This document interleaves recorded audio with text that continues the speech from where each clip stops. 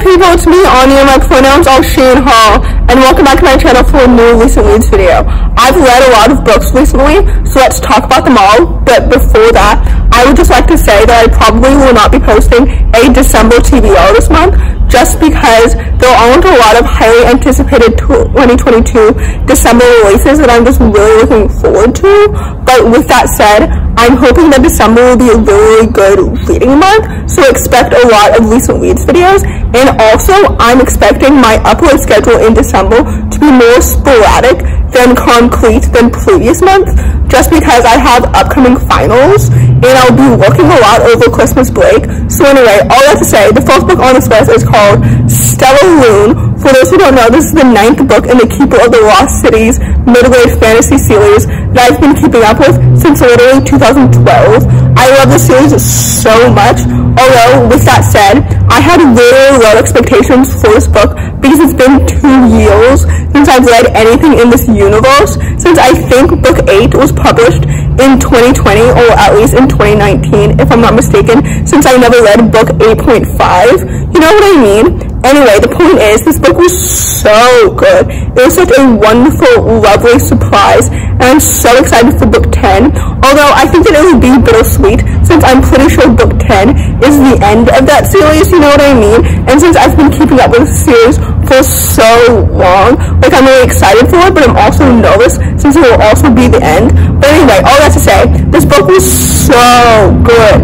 The world building is so imaginative, and it's so inventive, and it's so immersive. The plot was so intriguing and so engaging and absolutely so fast-paced.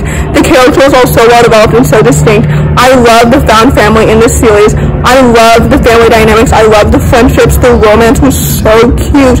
Literally, this book is so good. I rated it four stars, which was a nice surprise because, like I mentioned before, First of all, it's been like three years since I've read anything in this universe. Second of all, I think I rated the last book in this series three stars as well.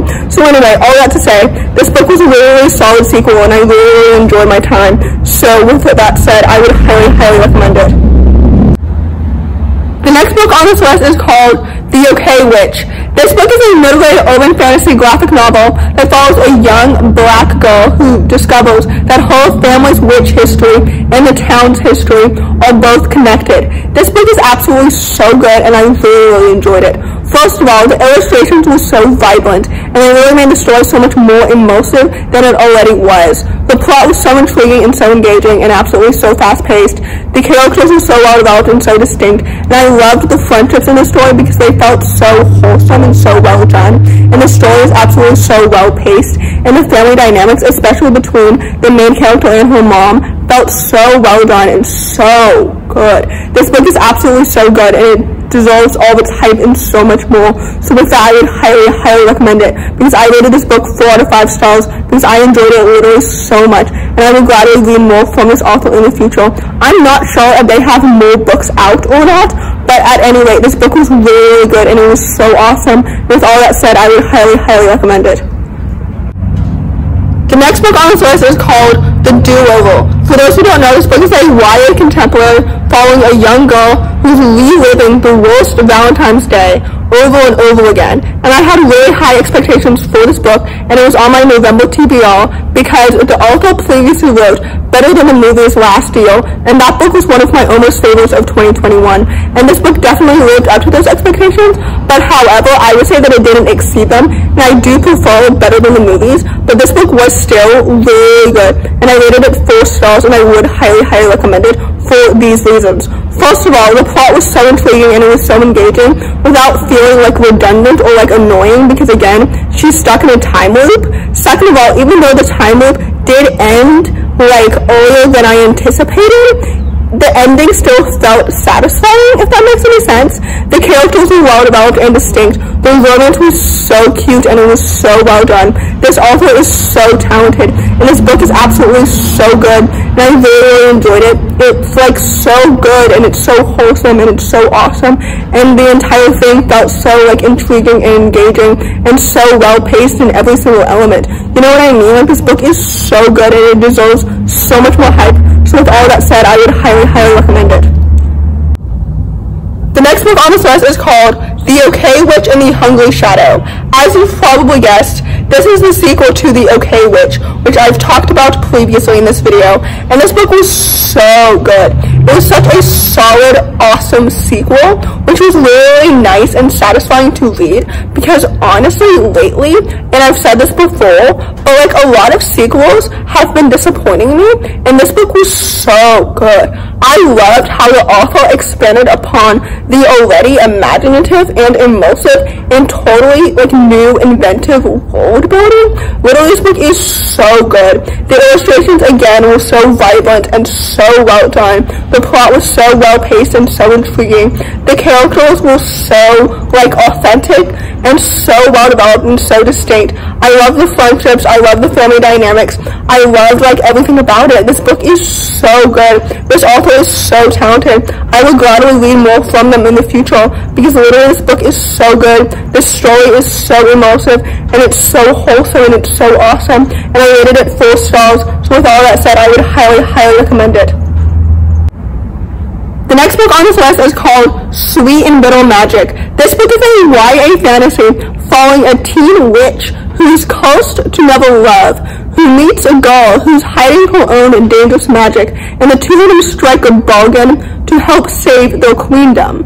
This book is absolutely so fantastic, and it definitely exceeded my very, very low expectations, and I had super low expectations for this book, because actually the first time that I read it last year, I DNF'd it, and I didn't think that I would ever pick it up again, but I had a lot of free time over Thanksgiving break, and I had a lot of patience as well. And I read this book and I finished it, and it was absolutely so good.